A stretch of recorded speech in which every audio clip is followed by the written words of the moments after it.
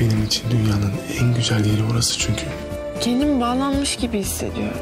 İstediğimle konuşamıyorum. İstediğim gibi görüşemiyorum. İstediğimi sevemiyorum. Saadet babaanne. Söyle yavrum. Ben Demir'e çok aşığım. Kızım sakın kandırma kendini. Bu imkansız bir aşk. Ateş ve sen olmazsınız. Sok bunu aklına. İnsan kalbiyle nasıl söz geçiremez ya? Sen söz geçirebiliyor musun kalbine Yasemin? Galiba gitmek en iyisi. Gitme Yasemin. Sevdiğim adam.